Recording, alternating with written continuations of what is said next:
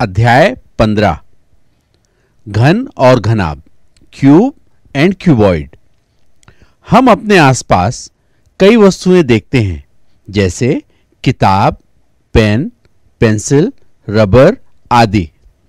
इन ठोस आकारों में, यानी त्रिविमी आकार, जिन्हें हम थ्री आकार भी कहते हैं, हम द्विविमी अर्थात जिसे अंग्रेज़ी में टू डी आकृतियाँ कहते हैं, जैसे त्रिभुज, चतुर्भुज, वृत्त आदि देख सकते हैं। थ्री वस्तुओं के फलक, पृष्ठ, किनारे और शीर्ष द्विविमी आकृतियों के संयोजन से बनते हैं।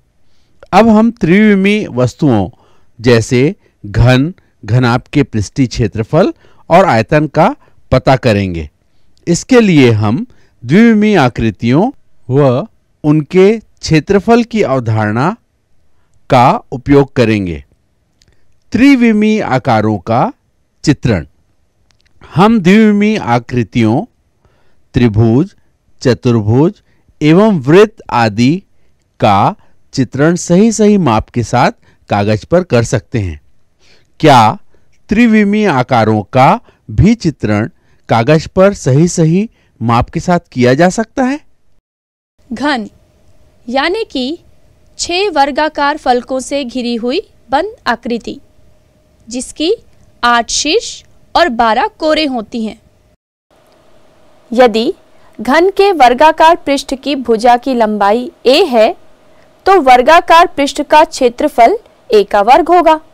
तब घन के सभी वर्गाकार पृष्ठों के क्षेत्रफल को जोड़कर हम घन का संपूर्ण पृष्ठीय क्षेत्रफल ज्ञात कर सकते हैं।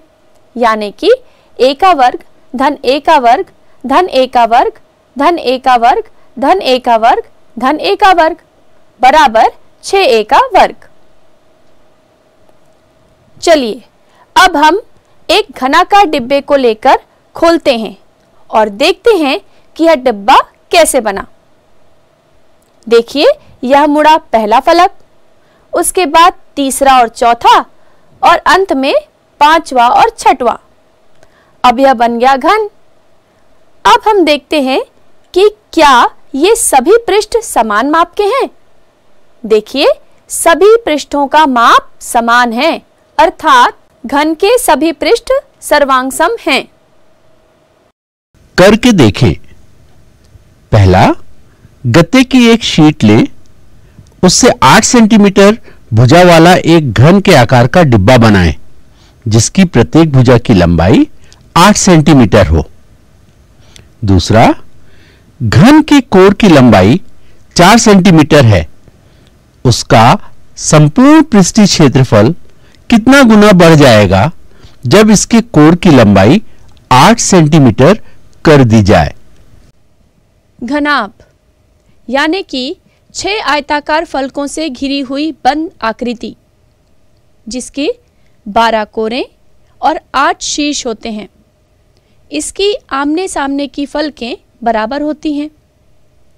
घनाभ की लंबाई L, चौड़ाई B और ऊंचाई H ले लेते हैं।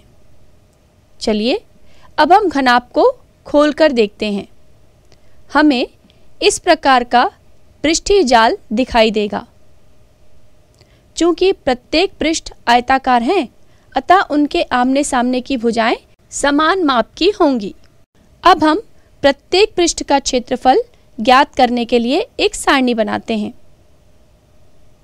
फलक दो और चार की भुजाओं की मापें हैं, L व B तो उनमें प्रत्येक का क्षेत्रफल होगा L गुणित B फलक एक और तीन की भुजाओं की मापें हैं, L और H तो इनका प्रत्येक का क्षेत्रफल होगा L गुणित एच इसी प्रकार फलक पाँच और छ के भुजाओं की मापें हैं B और H तो इनका प्रत्येक का क्षेत्रफल होगा B गुणित एच अब हम घनाभ का संपूर्ण पृष्ठीय क्षेत्रफल ज्ञात कर सकते हैं।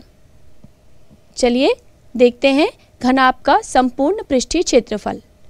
इसके लिए हमें सभी पृष्ठों के क्षेत्रफलों को जोड़ना होगा।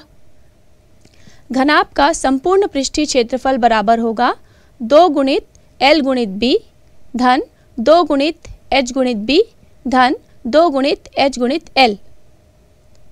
इसे हम लिख सकते हैं, दो गुणित कोष्टक में एल गुणित बी धन, एच गुणित बी धन, एच गुणित एल।